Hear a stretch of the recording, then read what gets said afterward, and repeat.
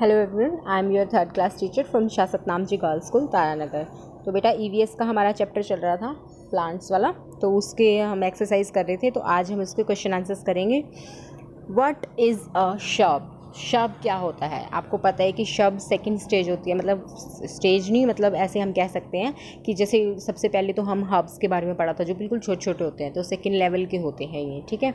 शब्द होते हैं, जो हम गमलों में उगा लेते हैं, जैसे गुलाब का फूल हो गया और तुलसी हो गई, है ना? ये सब पौधे छोटे छोटे होते हैं, ठीक है?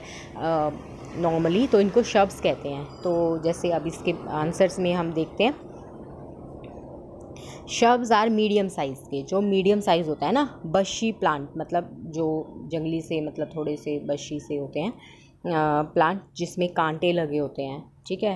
मेनली कांटों वाले होते हैं, बिना कांटों वाले भी होते हैं bushy means bushy plants such as rose and bougainvillea लिखा है मैंने इसमें बट आप इसमें नॉर्मली लिख सकते हो, तुलसी लिख सकते हो, तुलसी एग्ज़ाम्पल इसका बेस्ट रहेगा। तो ये आप कट करके यहाँ पे आप तुलसी लिख सकते हो जैस्मिन भी लिख सकते हो। जैस्मिन भी शर्ब्स का ही एक वो है प्लांट का एग्ज़ाम्पल है। Rose and tulsi tulsi the best रहेगा ओके नेक्स्ट आप जो क्वेश्चन है, वो करेंगे।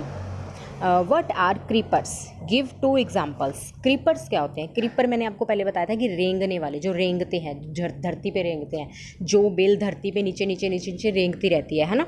Those plant that have very weak stem मतलब बिल्कुल ही पतली सी बेल होती है है ना? पैर रखेंगे तो टूट भी जाएगी।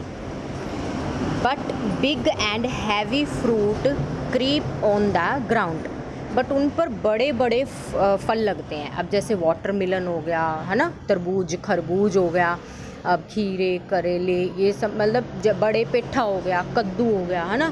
तो ये सब क्या है? बड़ी बड़े फ्रूट हैं और मरियल सी बेल पे लगे होते हैं on ground they are called creeper तो एग्ज़ाम्पल में हम क्या लिखेंगे? Such as watermelon pumpkin ठीक है वाटर मिलन मीन्स तरबूज हो गया पम्पकिन मीन्स पेठा, इस टाइप से कद्दू वगैरह, ठीक है? और नेक्स्ट हमारा क्वेश्चन आता है give two examples of perennials why they are called perennials ठीक है? एग्जाम्पल्स देने हैं पहले तो हमने two two perennial plants, neem and mango, neem and mango, क्योंकि वे ये होते हैं जो सालों साल चलते रहते हैं, ठीक है? They are they are called perennials plant as they live for many years flower ठीक है? ये क्या है? सालों साल तक चलते ही रहते हैं। ये ऐसे नहीं कि आप आज उगा दिया तो अगले सीज़न ख़त्म। जैसे गेहूँ की फ़सल होती है, अगले सीज़न ख़त्म हो जाती है है ना? दोबारा फिर आपको कपास वगैरह उगानी है या कुछ और है वो एक साल के लिए रहते हैं। पर ये नीम का प्लांट एक बार लगा दे तो सालों साल, दस, पंद्रह, बीस साल तक चलता ही रहेगा, ठीक है? अगर ना ख़राब होए तो।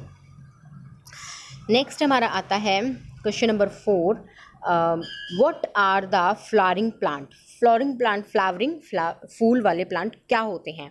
गिव टू एग्जाम्पल्स ऐसे प्लांट जिन पर फूल उगते हैं प्लांट दैट प्रोड्यूस फ्लावर्स ऐसे प्लांट जो फूल पैदा करते हैं, उनको फ्लावरिंग प्लांट बोलते हैं फ्लावरिंग फ्लावर्स होता है जैसे कई बच्चे बोलते हैं, मैंने कई बार बोला है इसको, आप इसको फ्लोवर नहीं कहेंगे, इसको आप फ्लावर कहेंगे फ्लावर्स फ्लावर्स तो अब इसको आई एन जी लगे तो क्या कहोगे?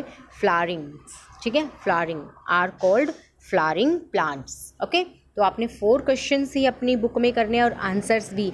वन बाय वन आपने क्वेश्चंस लिखना है एक एक क्वेश्चन फिर उसके बाद उसका आंसर ठीक है? तो अच्छे से नीट एंड क्लीन अपनी नोटबुक में राइट करने हैं ये फोर के फोर क्वेश्चन आंसर्स